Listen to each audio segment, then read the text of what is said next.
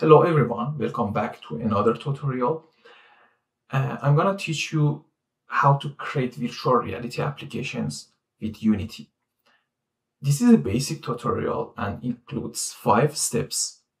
Uh, installation of Unity Hub, Unity Editor, Visual Studio and the dependencies, and the uh, basics of uh, Unity VR in overall. So first step is just copy paste, install Unity Hub inside the Google. And then you will have the first link. Click on it and then uh, download the Unity Hub since we are using Windows. So click on this one and then you will have the Unity Hub set up. Double click on it.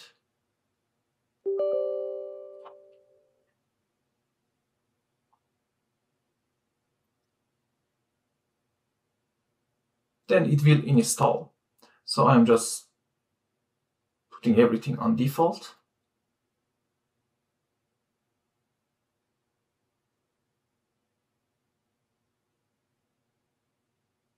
And then it's run Unity Hub. Unity Hub is basically a hub to uh, serve uh, the Unity editors. We will have different versions for the Unity editors. So let's do that. So uh, I need to sign in. For that, we need to create an account.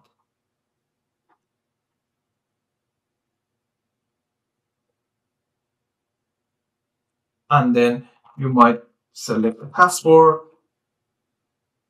and then a username.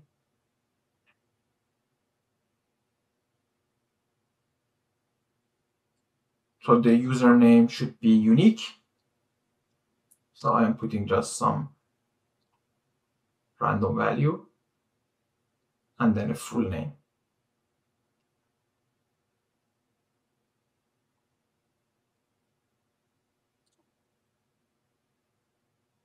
Then once we create the account, the, Unity Hub, and then we agree with the licensing because Unity is free.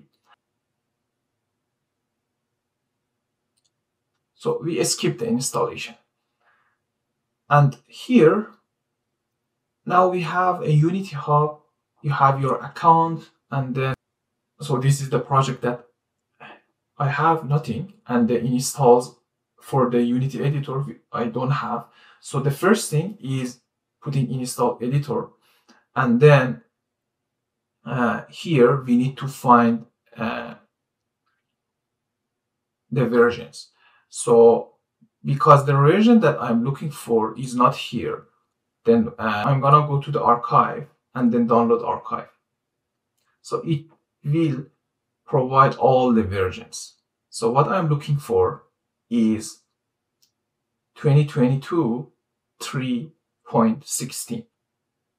So I'm clicking on the Unity Hub and then uh, it will automatically come here, right? So, and this LTS means that long-term support, which means that uh, they are supporting this version even though we passed couple of years later. So if you build a project here, then they will support this version. So you don't get to any trouble or problem in future. So for that, uh, we need to also install the Visual Studio. So I'm gonna select this one and then uh, I don't want this and then continue. It takes a little bit time. Okay, when you see this, we need to install additional dependency. So for that, we need this .NET desktop development and then game development with Unity. So, and then uh, I'm gonna just install this.